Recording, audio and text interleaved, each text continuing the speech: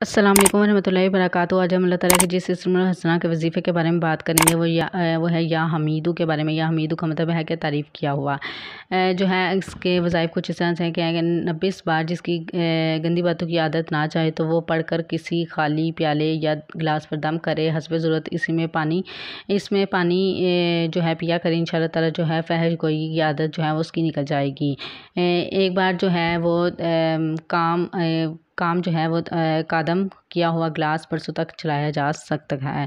और इसकी जो है वो छोटे से वज़ाइफ थे और इसका एक और वजीफ़ा यह है कि ये इसमें पढ़ा जाए तो जल्दी ही जो है इखलाक भी आपके अच्छे जाएँगे। जो शख्स बाद नमाज़ फ़जर जो है बकसरत इसको पढ़ेगा, अल्लाह ताला इसके दिल में अपनी मोहब्बत डाल देंगे और दुनिया के, दुनिया से जो है वो बेनियाज हो जाएगा। ये इसके छोटे से वज़ाइफ थे उम्मीद करती हूँ आपको पसंद आए होंगे। दुआ में ज़रूर याद रखिएगा। अल्लाह हाफिज़।